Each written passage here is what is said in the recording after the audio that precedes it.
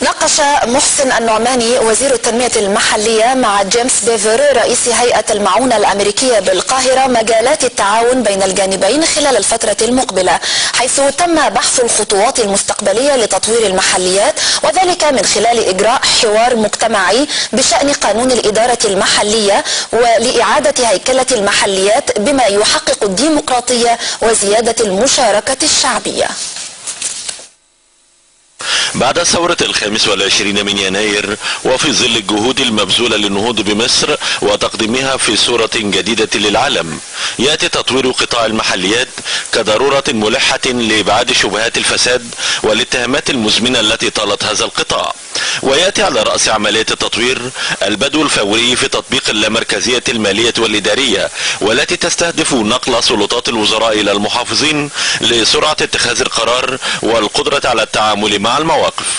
إحنا في مشروع اللامركزية بنتحرك في خطوط متوازية كلها هامة جدا. اولا مراجعة الخبرات الأجنبية كلها في هذا المجال وده في تعاون بيننا وبين بعض فيه. أيضا في عملية عمل نظام رابط اللي هو نظام ربط كل قرى مصر ببعضها البعض بحيث إن كلها يبقى عندها المعلومات اللي تكفل لها اتخاذ القرار على المستوى الشعبي.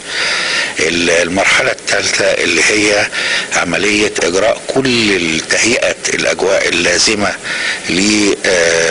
لتحقيق اللامركزية. اللامركزية تطبق في عدد كبير من بلدان العالم وتعمل مصر على الاستفادة من ذلك المشروع للنهوض بالمحليات وتطويرها.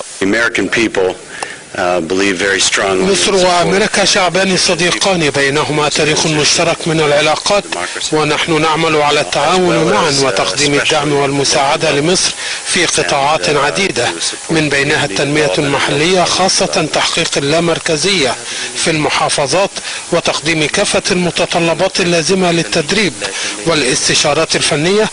فكرة تطبيق اللامركزية ليست وليدة اليوم بل تم دراستها وبدء تطبيقها في ثلاث محافظات كتجربة ونموذج منذ عدة سنوات.